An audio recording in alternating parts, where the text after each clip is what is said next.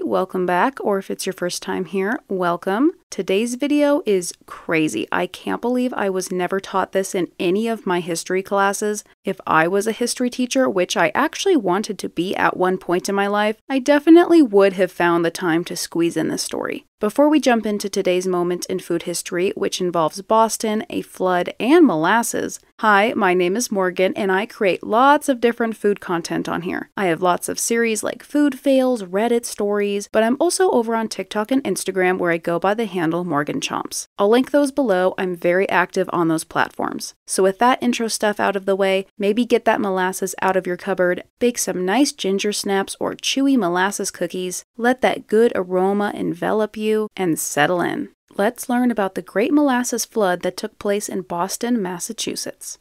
Let's start with the lead up to this disaster that was actually devastating. I know it might sound wild or even funny, but this was a devastating, can't quite say natural disaster, but a devastating disaster at that.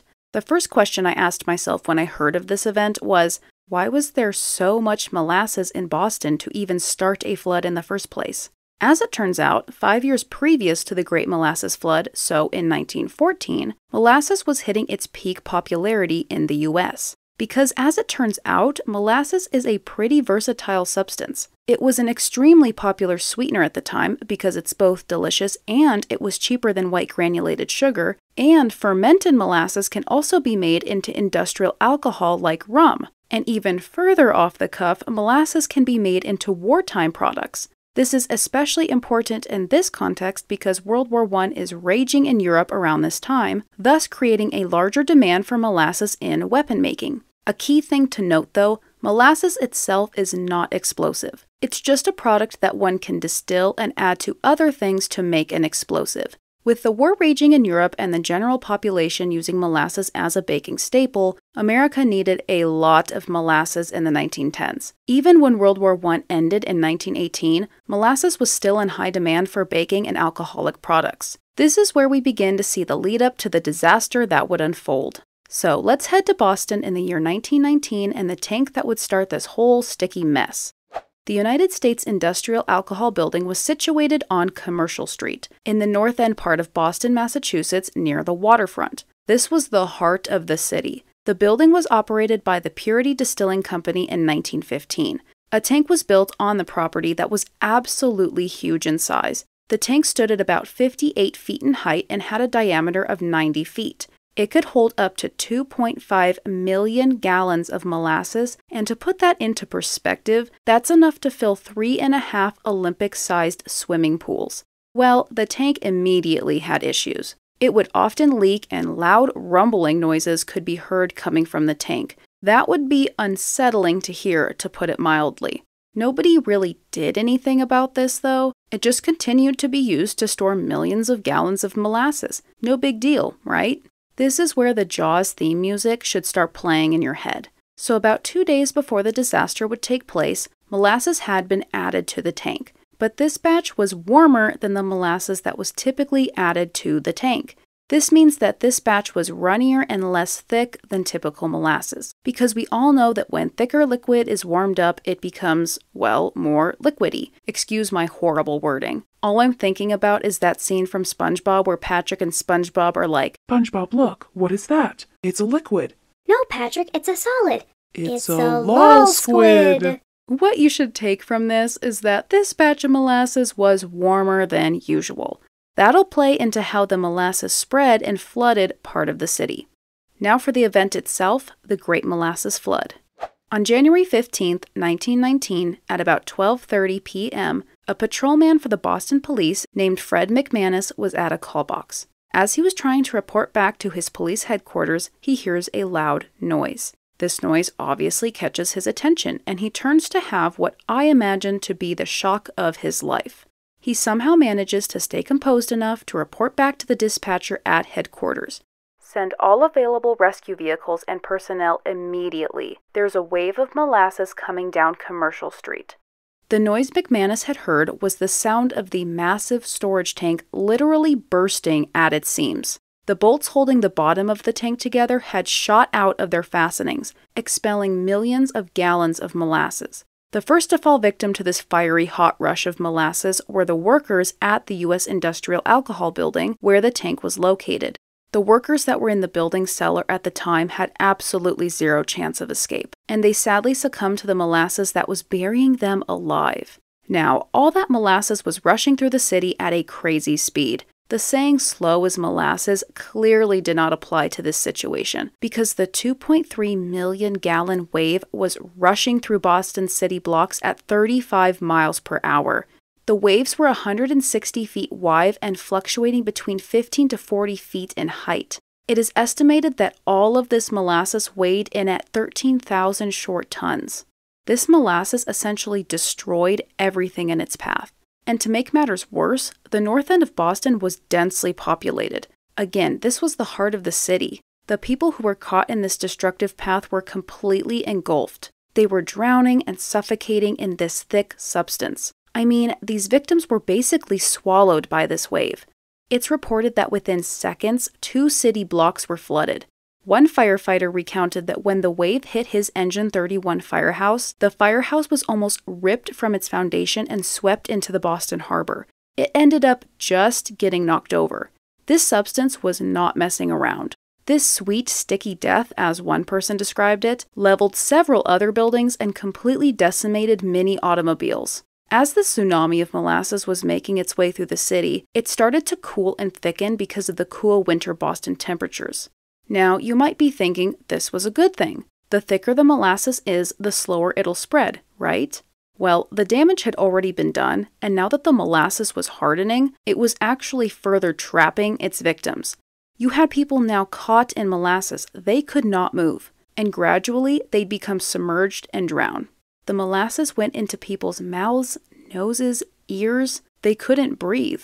Kind of like if you can imagine cement being poured over many city blocks, then it quickly starting to harden. Now you can kind of picture how that would create even more of a problem with the molasses hardening. This meant that rescue efforts were hampered, and the people who had become trapped by the sticky wave were now more likely to suffocate because they were stuck. By the time the sun finally fell on January 15th, 21 people were dead and approximately 150 people were injured, and the north end of Boston looked like it had been bombed. This absolute mess took two weeks to clean up.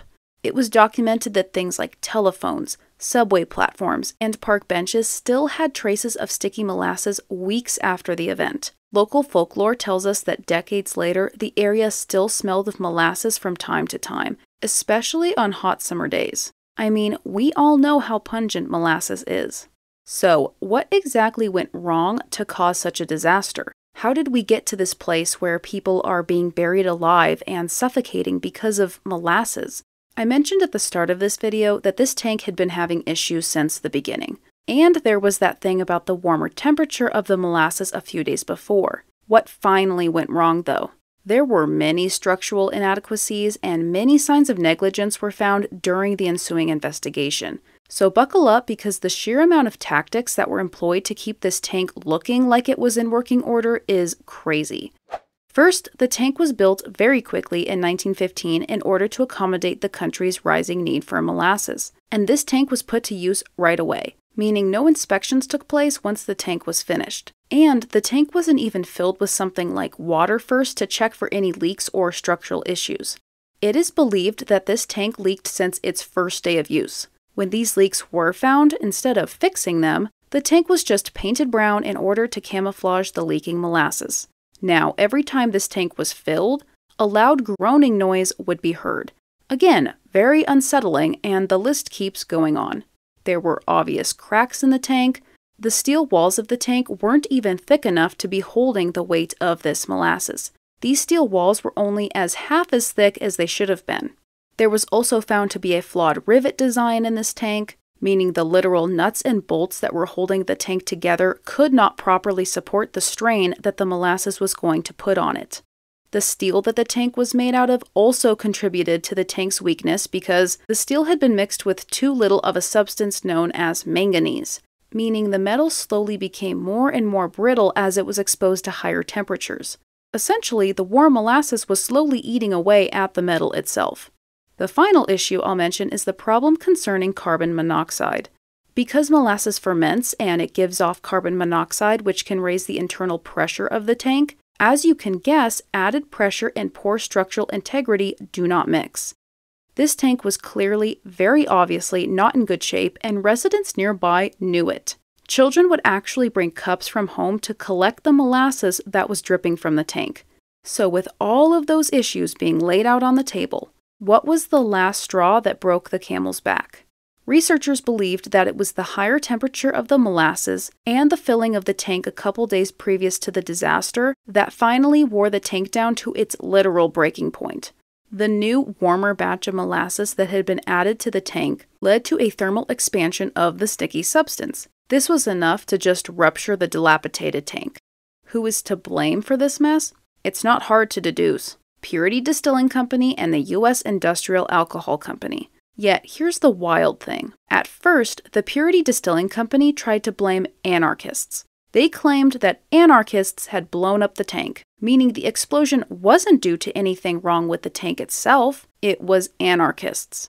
Over a hundred lawsuits ended up being filed, and across all of these judicial proceedings, 3,000 witnesses were called and 45,000 pages of testimony were recorded.